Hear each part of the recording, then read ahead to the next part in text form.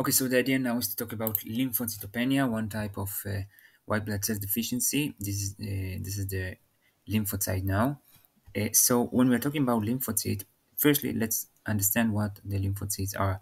The lymphocytes are the T cells, B cells, and NK cells. Most of them are the T cells, and most of the T cells are CD4 cells. In the T cell, there are CD4, CD8, T regulatory, in the B cell, they can become plasma cells, and NK cells are part of the innate immune system, which are important in cancer cell detection, in uh, autoimmune regulation, uh, and in uh, invasion detection and treatment and uh, killing. Okay, so uh, let's talk about lymphocytopenia. So lymphocytopenia is considered in adults below 1,000, and uh, in children in pediatrics less than 3000 for less than two years old. And and you can see here the distribution as uh, you can you know and this is the amount of lymphocyte uh, as the age progress. Again the, the idea is uh, what you can see here as adults and for children. Okay uh, so etiology we can be acquired or inherited. Uh, acquired those are the acquired causes of the most common acquired causes of uh, lymphocytopenia. You can see here the COVID-19 lymphocytopenia one of the uh, bad prognostic factors in COVID-19. Uh, HIV infection also can kill CD4 cells, T CD4 cells. As you know, uh, even AIDS is defined based on the amount of CD4 cells, and I forgot now exactly the number, under 200 or something. This is what defines uh, AIDS in HIV.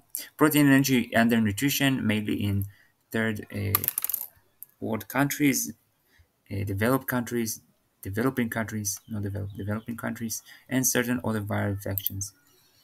Um, okay, when we'll come to the inherited lymphocytopenia, we will see uh, genetic disorders like uh, severe combined immune deficiency disorder, uh, where T cells are absent, absent, and sometimes also B cells are absent, but this is not a must. And another one is Wiskott-Aldrich syndrome, where combined B and T cells are defected, uh, and therefore there are current infections, and this is uh, probable.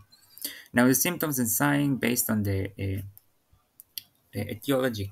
If it's an autoimmune disease, we can have uh, other presentations of the autoimmune disease, like if we have, I don't know, lupus, uh, lupus many alopecia for autoimmune disease, maybe um, eczema, atopic dermatitis if the patient has autoimmune disease, uh, autoimmune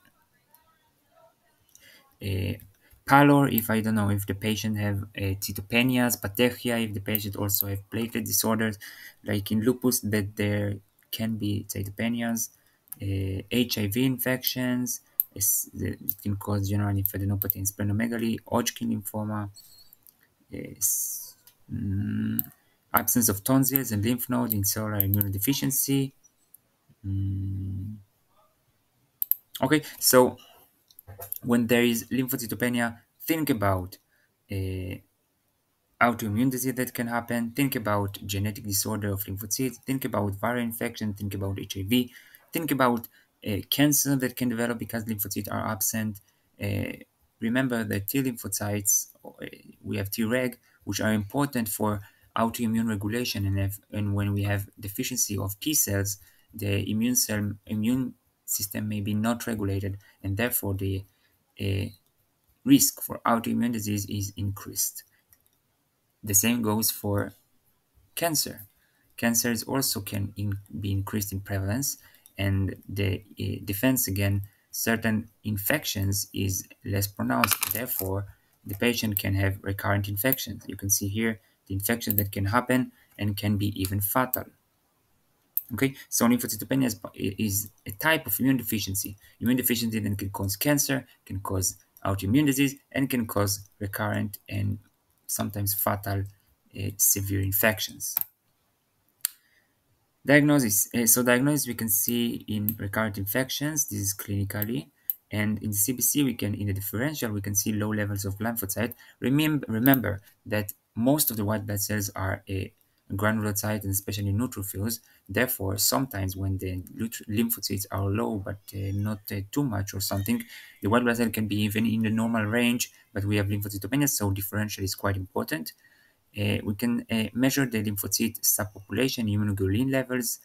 Uh, okay, so we have when we have a patient with a current infection, with infections that are not typical, check for one of the causes of lymphocytopenia. You can see here the infections, pneumocystic cardiomyopathy, vecchi, cytomegalovirus, rubella, varicella pneumonitis. Uh, okay. Uh, treatment. If there is a cause, of course, treat the cause. I don't know if the cause is what. If the cause is, uh, I don't know, something that causes cytopenias, like, uh, I don't know, a medication that can cause cytopenia, like chemotherapy. Uh, so take off the chemotherapy if you can. If the cause is uh, other medication, take it off. If the cause is uh, cancer, if the cause is, uh, I don't know, leukemia, lymphoma, HIV, you need to treat the cause if you can.